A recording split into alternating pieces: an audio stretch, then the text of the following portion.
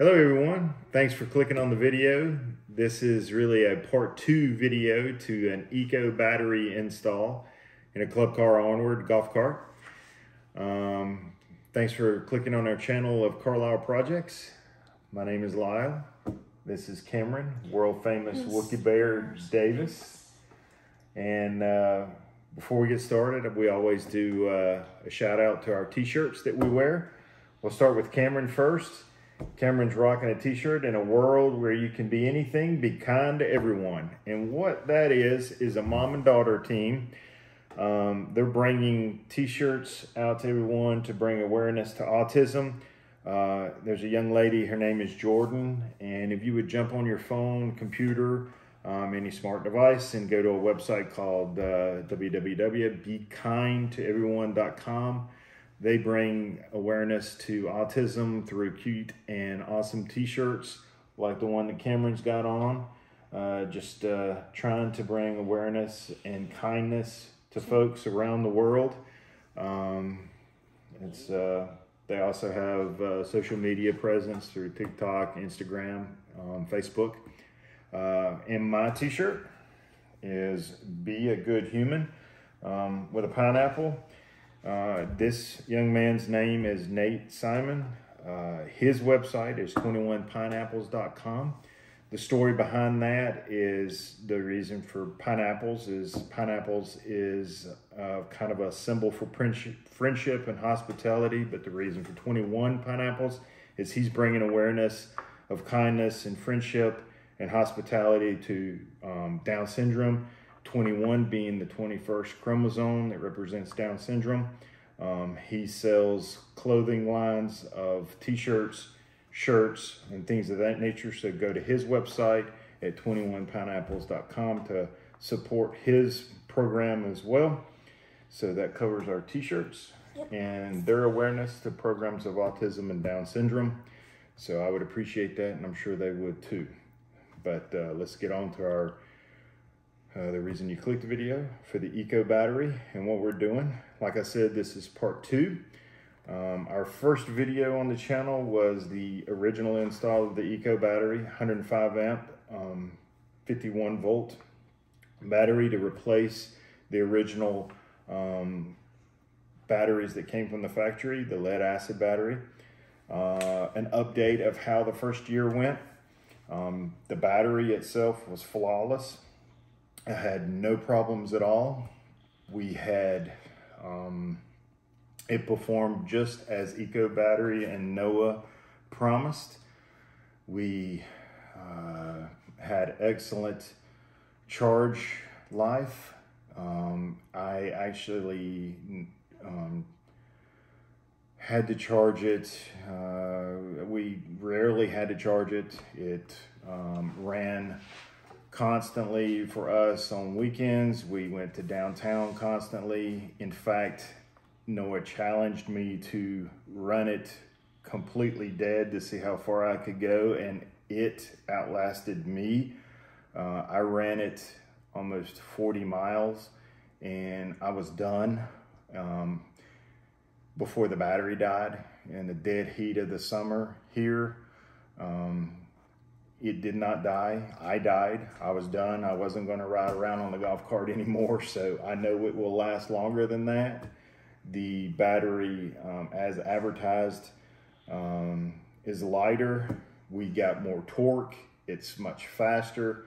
I got more speed off the line, and we um, quicker charge times, and it took up less space inside the battery compartment and everything as advertised. So we are completely happy with it.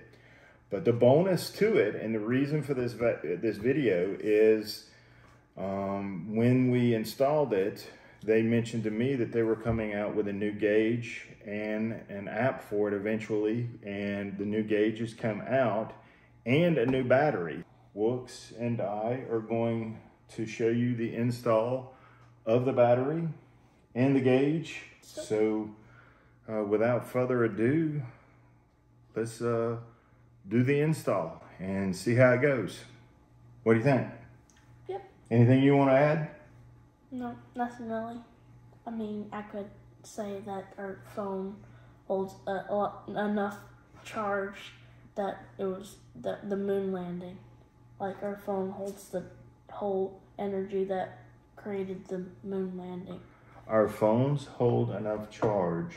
That the rocket and everything that powered the rocket and communications fits in that phone. No kidding. And uh, what's super funny is So Um, in this phone, it holds the same enough charge for as the, the rocket did for like the moon landing. everything. And what's funny is that they were back then when they had their when the first computers were like, this computer holds two megabytes. No kidding. so you can learn, uh, which brings me to another interesting fun fact is while you're on your computer, jump over to Wookie Bear Fun Facts of the Day, and you can learn so many things from this young man. This guy knows so many things, and his channel is Wookie Bear Fun Facts of the Day. And you can learn about presidents, flags, and all other kind of things, right? yes, it's Cool. yeah. What else? That's only it that they're gonna get bored if I keep talking. Well, oh, I will never get bored. Cause you're my father. Okay. All right, let's hit it. So I've taken out the battery and the cooler. It gives you a, a better view of what it looks like. So all of the cables are all condensed in here. I've, uh, when I did have the battery installed, I took and put all of this uh, wire loom and put all the cables together in a, a little bit neater fashion.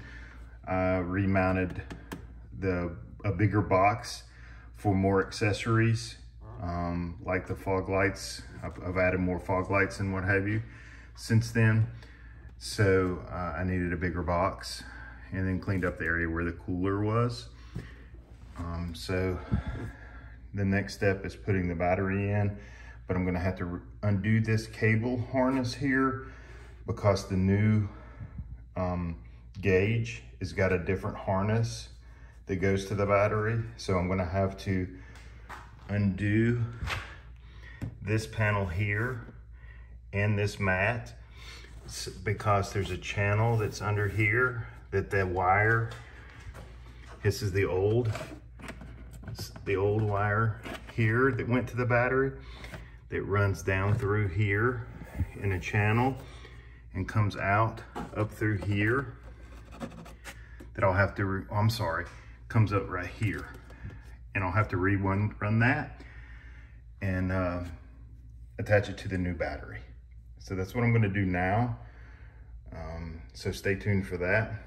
But I wanted to show you then how much room you have uh, and how clean the new the compartment stays. This is, I just had to clean some dust out, but this is after a year of the old battery. I mean, if you look, you see the mounting bar there? That's where that lead acid leaked on my old bar. That's not from the new battery. But this looks brand new after a year. What I was saying was, you know, this compartment is after a year of driving around the neighborhood and downtown. Um, you couldn't say that with lead acid. You, you, you do see the damage down here from where my lead acid, step out of light, you see where the lead acid ate away at that mounting bar.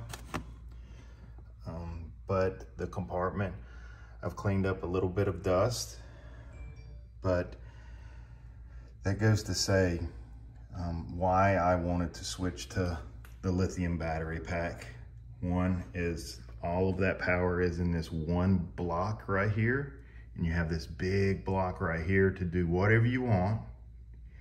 Um, whether it's speakers or, or uh, a cooler in this use that I use it for, um, or whatever you want to do.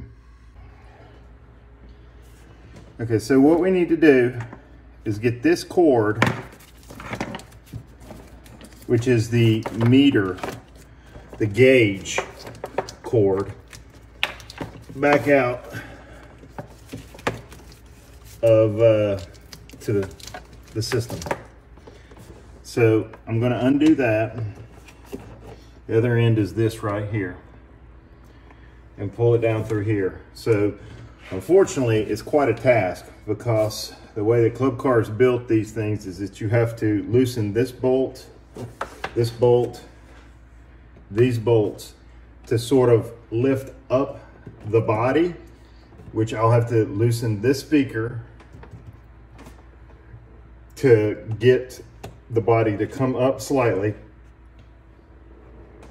so that I can um, get the wire to loosely come through this chamber and pull it up.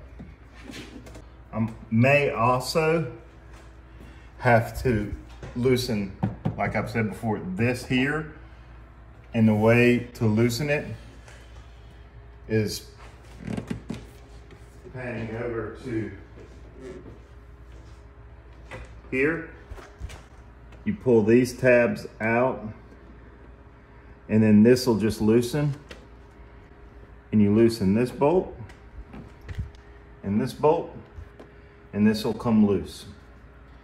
So that's worst case scenario, but what I'm gonna do first is loosen a couple of these and see if it'll give me a little bit of freedom to pull the wire loose so I don't have to do all that. So one thing that you, you can do if you want to do it kind of is you can run it down this channel and there's an, a way to run it from the outside underneath the carriage and up but your wire would be exposed to the elements and you'd be done. I could do that as well um, but my dealer did it the right way um, as he does everything else and ran it through the dash and under this mat because there's a channel here that's built for wiring that all of this goes through that comes out here. This is the channel that you can see. Once I get this mat removed you'll be able to see it. Um, and I would prefer to do it that way. Uh, I, I, just don't want uh, the wires hanging underneath there myself but feel free to do that your way. It would take you a tenth of the time that this is going to take and much easier. Um, and nothing against that way. I'm just a little OCD, so uh, uh, I'm going to do it the other way. But uh, it's your golf cart. Do it the way you want to. Right, Wooks? Mm-hmm. All right. What I me, me and my dad do is we took out this one in this one and those other two. But make sure when you take these out to put these in a safe place because you don't want to loosen. That just makes it very hard to do the rest. Okay, so me and Wooks are gonna go ahead and take this strip off and I'm gonna show him how to do it since he's never done it before. And it's just like taking any body panel off. If you see these little tabs right there, you see that little hole? Mm -hmm. Put your body puller or plastic rivet tool in there just like a screwdriver and it'll pop it out. So what's this, you can struggle with it if you've never popped a body panel rivet out. Is struggling. You're struggling? So you take it out, pull it, and you just pull it out because it's just like a little plastic pop rivet, see? And you see how it's got these little tabs in there? Mm -hmm. You just don't want to break them. You can use your fingernails if you got strong fingernails. But I don't have strong ones. I'll snap it like a dry twig. So then they'll just pop out. The problem with me is I don't trust myself and I don't want to get in trouble with you. See, we get in trouble. We'll just go buy new ones. Okay. okay. And then we'll pull those out. One fell under the tire. And then we just pull them out. You see that just pull, pulls out just like in a car. These are how they, you don't know it, but these are how they hold a lot of car body panels or hold on inside of a, your dashboard and what have you. All the adults out there know that. But so now move your arm so that the weight's not holding it. You'll see once we loosen the speaker in there, this body panel will be able to lift up. What I'm doing now is just removing the speaker mount or the speaker. because that was holding the body panel to the um, plastic box. So see how that moves now? That'll give me a little play with this. See?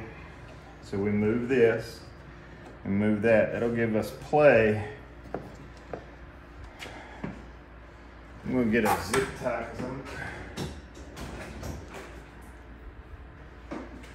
I'm just a little nervous with that speaker dangling on speaker wire.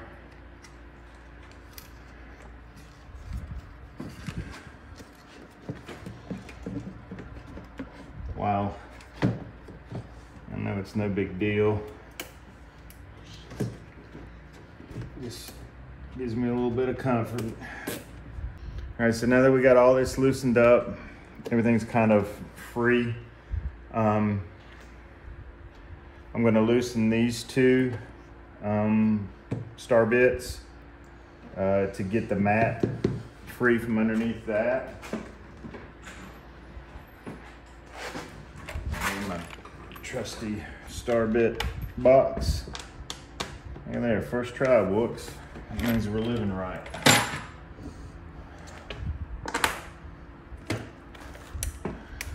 In case you're curious, or that is a T40.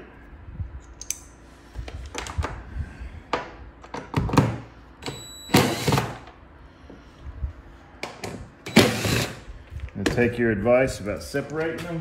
So what me and Daddy did was we loosened these two. They're just duplicates of the ones over there. And so we were having a struggle with the mat of like trying to figure out the wires and, holding it. And so I came up with an idea just to take it off and we carefully put it, took it through these um, pedals and then we just put it to the side. Yeah, it helped out a lot because we were fighting trying to hold it up while still trying to fight it with these wires. And I cut the wire once we did that and pulled it through. It was really easy. Probably should have, a rookie mistake, probably should have left it attached and, and, cut it then and used it as fish to pull the new wire through. But uh, um, hey, we all make rookie mistakes. Okay, so what we've done is we took it apart like we showed where we could lift up this body part and it made it real easy to fish the wire, a lot easier than I thought. So we were able to fish the wire underneath here, right through this channel here. Um, the new gauge has got two plugs on the end and we'll fish that through this channel. I'll tape, um, I'll tape it down so that it's protected even more and we'll go up through the dash and I'm gonna have to redo my dash because the hole for the new meter is too big now. Um, but I was uh, lucky enough, my dealer gave me a new dash. Um, thanks for that. So uh, more to come on that. So that'll be the final step once we get everything we wired and the battery put back in. So what we did put the mat back normal. We put these two, these on your side is kind of the same, but these. These two here, right? Yep. And then we put the mat in, and we put these two screws in, exact same thing on your side. And then we put in, we put these screws and those screws on your side. And then that's. Put the speaker back in. Put the speaker back in and. We left enough uh, extra wire because it's going to plug into the side of the battery, which will sit right here. And we left all the extra in the dash because we didn't quite know where we are going to put the meter when we get done. Right? Yep. Okay. Watching to the end. So let's talk about the dashboard that I did. One of the most vulnerable things on your golf cart is your key switch. I don't know if you know it, but the keys for your golf cart fit all golf carts. I'm told that if you have a club car key, it fits all the club cars. And when I found this out, I had, did some research and I found the Stinger switch. So it's real easy to do. You take your key fob out, it unscrews, and you slide this Stinger module in, and it's a plug and play harness. It basically take the red wire, plug it into the red wire, the blue wire into the blue wire, and so forth and so on. And then it just screws into the back. And then you assign a, um, a sequence of numbers that you want to remember and program it into the Stinger switch. And that's what your code is for your golf cart. The second thing is uh, what I installed is a fast charging USB port. Um, so there's two ports there for USB charging or any other accessories. The third module there is the Nilight six toggle switches. Um, I bought those from Amazon and you can get that. It comes with a charging port but uh, those are interchangeable. They pop in and out instead of the extra charging ports that come with it. And uh, use those and then they come with numerous different stickers that you can charge uh, change in those uh, um, lights. Uh, when you turn it on they light up blue um, for you to easily see at night and um, for example that first light switch has a bunny on it. Um, my basset hound and I go out um, searching for bunnies at night. She likes to spot them out and start barking at them so on the side of my golf cart as you can see in some of the previous shots in this video I have uh, some LED lights on the side of the golf cart. And when I flip that switch that has the bunny on it that lights up those side lights so she can see um, those are high um, front lights and then some are back tail lights um, that we can light up for tailgating and such. And then the two far right hand sides are heavy duty uh, LED light bars. And then finally on the far right is the new eco battery gauge which I'll expand on um, in just a second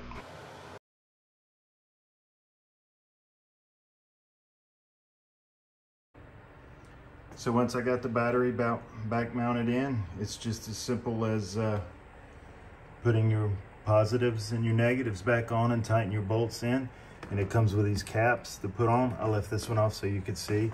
Um, and then the meter screws into this uh, cable attachment there. And you put your um, battery mounting bolt goes all the way down to the carriage underneath it.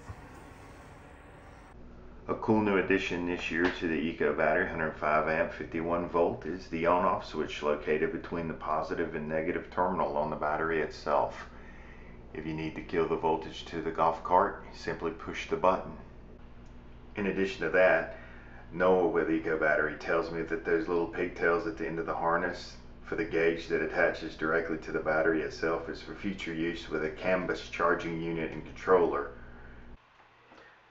last but not least, let's talk about the gauge just for a minute. Um, what I like about it, it is simple, it's digital, it's clear, it's bright at night, and it's uh, easy to read. There's three simple lines. The top line shows my voltage. Um, as I go lower and lower and lower on the percentage, obviously my voltage number will show lower. The middle line shows my percentage so that I, I know where I'm at as I'm riding through downtown, etc and the bottom line shows my uh, amps that I'm pulling um, and it shows the minute I flip a light on or more lights it will show me the tenth of an amp that I'm pulling. So it's it's dead on. Um, I'm very happy with what it says and uh, it keeps me up to date to show exactly where I'm at. Uh, just a small FYI only. It shows 99% that is a full charge. That's a factory default Noah with Eco Battery has showed me that that is the factory default. And um, as a side note, there's an app coming out for your phone. This new gauge is Bluetooth enabled. Um, that app will be out between 60 and 90 days now. Um, more information to come. I'll probably do an updated video once that comes out because I don't know much about it to, to share with you now. But uh, I'm excited to see what that entails. So more to come on that. Well everybody, thanks for checking out our video. Wooks and I appreciate the support. If you have any questions that we didn't cover in the install video, just leave them below in the comment section. And remember to hit that like and subscribe button. And also the most important thing, remember, be a good human, especially in these times today. Take care and be good. See ya.